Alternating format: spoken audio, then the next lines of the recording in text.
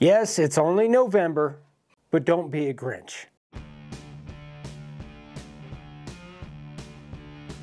So guys, it is only November, but it's not too early, especially if you're gonna be selling signs, if you need Christmas gifts and stuff, get your designs ready. Get everything kind of going a little bit early. Why do you think Target and Walmart and all those things, as soon as Halloween's over, Christmas stuff is in the aisles. So for this little sign today, we are using our template of the month for November of 2024. This is the Grinch Smile, and we're also using our inch and a half fatty font. Now this font is easy to carve, inset or outset, and I think it goes really well with Christmas designs. So that's what we're doing today. And if you guys don't know, templates of the month and stencils of the month, those are actually free for our premium and executive members. And if you want to check that out, I'll leave a link in the description below so you can head over to the website and kind of see what's all involved in that. So if you haven't subscribed yet, guys, we'd really appreciate it. It helps us kind of get our stuff out there and helps the algorithm show it to more people. So hit that like button, hit subscribe. Let's get started. For this sign, we used a 24 inch piece of 1x6 blue pine. Now this stuff we get at Home Depot or Lowe's, it's just shiplap blue pine and it's pretty inexpensive. I think an 8 foot board is like 12 or 15 bucks and this stuff carves great. I like this way better than the select pine or even the cedar pickets. So when you only have one template and you want it on both sides, you just want to make sure and mark where you want that template to be so you get even spacing on the left and the right. Now the biggest thing when you're laying out a sign is even spacing. Unless you're doing something kind of random, but that doesn't happen all that often. So I put two inches from the template to each side of the board and then I drew my lines for my wording. Now I wanted two lines on this so you got to make sure that you leave enough space in between the two lines if these are going to be outset and also around it for the cloud. But one of the biggest things that people forget is the apostrophe between the N and the T. So notice it's a little bit squeezed together, but I had to have enough space for that apostrophe because I'm doing this outset. Now apostrophes are like my Achilles heel. I really suck at drawing these things. We do have an apostrophe pack, I just forgot to use it. The first bit I'm using is our carving liner at an eighth of an inch deep. Now this thing is perfect for doing this Grinch smile template. You might be able to get away with using the profile bit, but the carving liner is really the way to go. Now one thing to remember is that when we make templates, we have to add some lines. Kind of think of like military stenciling. You can leave the lines or you can carve through them.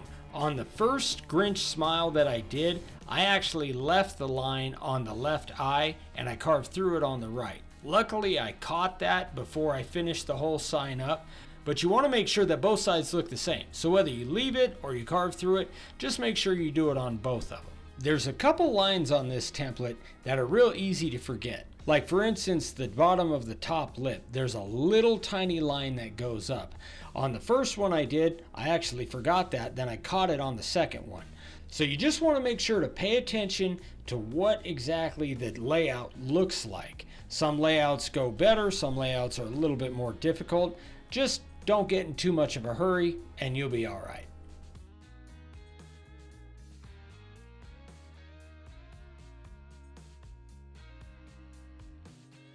The next bit I'm using is the profile bit at 3 16ths of an inch deep. Now I'm going to go around the outside of each one of the Grinch templates and this is to give me a, a line to follow when I go back with my 90 degree. You don't have to do that but it really does kind of add a little bit extra. It kind of makes more of a contrast between the template and the board itself. If you try to do it using only the 90, it's really kind of difficult to keep that line where you want it. Also, I widen the smile of the Grinch a little bit.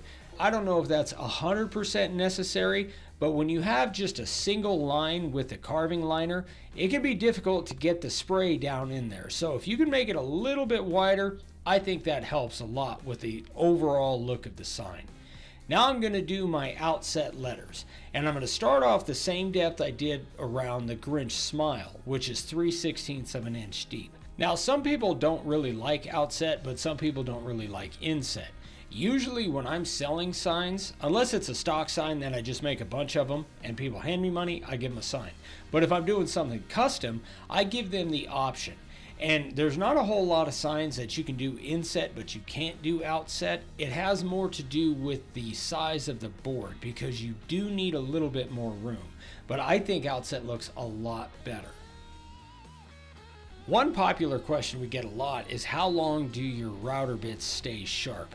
And there's a lot of variables in that. So for this, we're using that blue pine. That's not near as rough on the router bits as say oak or cherry or any type of hardwood really. I kind of use the general rule of 15 to 20 normal size house signs, like something like this. And they will stay sharper longer if you clean them in between signs which all you really need to do is take a little brass wire brush and clean off all the residue on your router bits after you're done carving for the day. Or if you have a real long day carving, then after you're done carving each sign. That's going to extend the life of your bits a lot. You'll be surprised. Now once I have my initial outline done at 3 16ths of an inch deep, I'm going to go back around all of my carving inside the lettering at a quarter of an inch deep to give myself plenty of room to get in there with a 90 degree bit, make my cloud, and take out the remainder of the wood. For the 90 degree bit, I went at a quarter of an inch deep just right off the bat. Now I'm going to go around each one of the Grinch templates and I'm going to make that fat bold line I was talking about earlier. Again, it's not 100% necessary, but it adds a lot of contrast and it makes it a lot easier to color when you're painting or using Sharpies without getting that color on the outside of the template where you really don't want it because that stuff doesn't sand off all that great. Now I'm going to go around my lettering. Now the biggest thing about this is you still need room to do a chamfer or whatever edge you're to do. That's one of the reasons when I did my layout, I put them a little bit close together. So there's plenty of room to carve in between them, plenty of room to go around them, and there's also plenty of room to do whatever type of edge I want to do on there.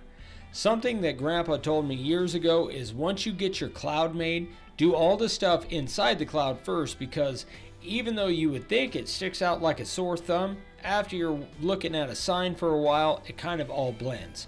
So work from the inside out and you'll be sure to get everything. Now this is just a nice little Christmas sign, so I'm going to round the corners to give it kind of a soft look. And to do that, we use our disc sander and we just kind of round them. They don't have to be perfect, at least in our opinion, they don't, especially if you're working for time, if you got a bunch of orders you got to get out. That whole process only took about 45 to 60 seconds. That's a little faster than I am. Now we're going to use the 45 degree chamfer bit and I'm going to put a small chamfer on the back and I'm going to put a bigger chamfer on the front. Again, you can do whatever kind of edge you want, but when it comes to like uh, stock signs, like something like this that I can make 15 or 20 of them, I like to do just as simple as possible. It still looks really nice and it's a good quality product, but I can knock them out pretty quick. Now I'm going to use our black primer and I'm going to spray everything black. This is pine, so you want to be careful not to overspray. You don't want any puddling but you want to get everything down there nice and dark so you can see the contrast. Once it dries, which only takes a couple of minutes, then I'm going to sand it off with an 80 grit disc on the disc sander and a 120 grit disc on the random orbital and I make sure to blow it off in between each one of those sanding processes to keep from grinding sawdust back into my board. Now I'm using a green Sharpie to color this sign. If you're going to do that, it does last a while, especially if it's an indoor sign, but make sure you do it before you do your finish.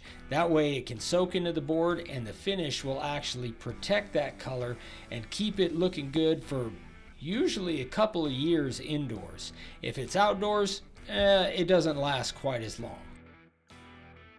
Then we use our Rust-Oleum Clear and I put one coat on camera and then I put about four or five more just to give it a nice glossy finish.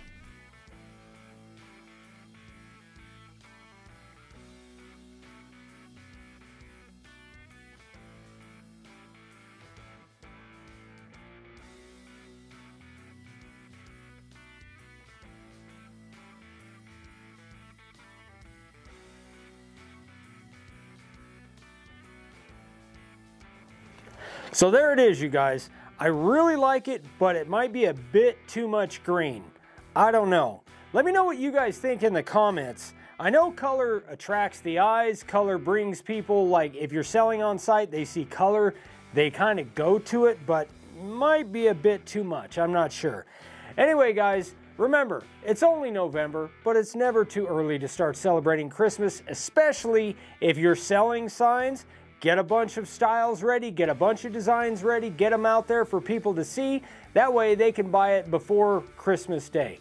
As always, guys, everything we use today is on the website, makeawoodsign.com, and there will be links in the description below. If you have any questions, shoot me an email, ryan at makeawoodsign.com, and we'll see you guys on the next one.